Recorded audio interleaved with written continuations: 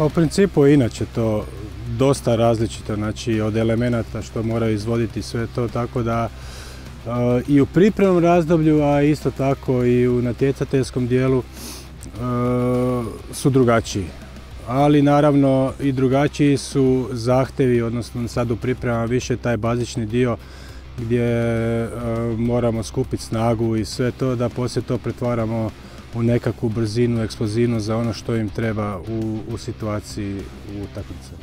Znači gledam da probam simulirati uvijek nekakvu situaciju iz, iz utakmice, e, ali naravno i gledam e, opterećenja sad u ovom dijelu priprema, znači da ona budu intenzivnija, duža, jača i, i onda znači e, što se bliži utakmica, odnosno prvenstvo, da znači isto e, te situacije pretvaramo u nekakvu e, brzinu reakcije što je u principu sve ono što, što, što trebaš. Znači samo brzina reakcije je bitna po meni u, u tom dijelu. E, znači ja stvarno ne mogu reći apsolutno e, ništa loše da pače, samo, samo mogu reći komplimente što se tiče njih.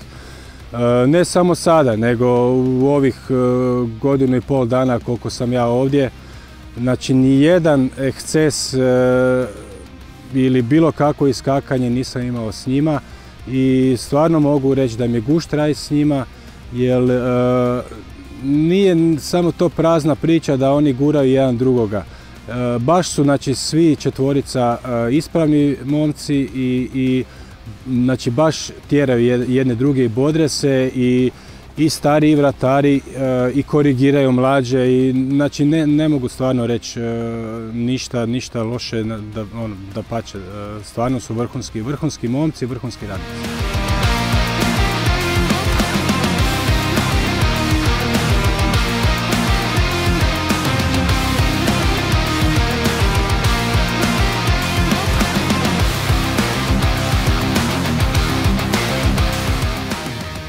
Ivica je znači, vrhunski profesionalac kao prvo. E, isto tako e, vrhunski e, čovjek, znači baš je ispravan što se tiče i života vani i, i rada na, na terenu i to pokazuje znači, svojim primjerom u treningu gdje je on došao do nekakvog tog nivoa gdje ajmo reći u jednom trenutku je bio prvi vrata reprezentacije, ali kakav je bio prije, takav je bio i posjet, e, na treninzima. Stvarno je i kao vratar e, zaslužio to, apsolutno, jer on nama, znači, nije niti jedan jedini bod uzeo što se tiče zadnjih godinu i pol dana, što ja mogu reći, znači pričati o tome, a donio nam je stvarno puno, puno toga.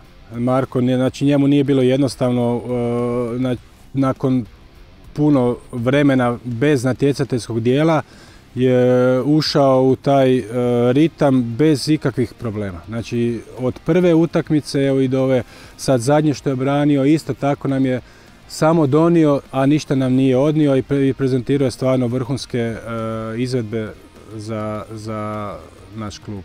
I dečko je izbivao 7 mjeseci radi operacije križnih ligamenata.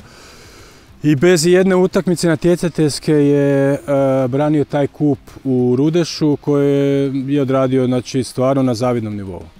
I samo je znači, taj COVID ga je spriječio na kraju da ne brani protiv Rijeke isto u prvenstvu gdje ja smatram da bi isto tako e, bio na nivou. Ali dobro, šta je tu je, pred njim je budućnost, e, treba se još znači, sad dignuti kroz nekakve utakmice za, za B ekipu i mislim da i s njimi dobivamo jednog vrhunskog vratara.